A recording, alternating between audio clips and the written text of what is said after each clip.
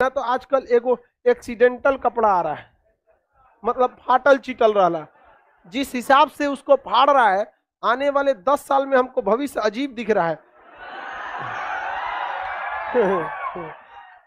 जिस क्रमिक विकास से वो फाड़ते जा रहा है, पहले घुटना से नीचे फाड़ता था, अब धीरे धीरे उसको ऊपर फाड़ना चालू है आने वाले दस साल में उघारे घुमा देगा।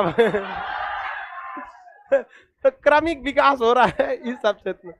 पहले के वक्त पे पैंट यहाँ पहने जाते थे। अब धीरे धीरे पैंट अपने नॉर्मल आ गए। कुछ दिन में ससुरा पैंट को रस्सी से बाँध के घींचेगा इसे।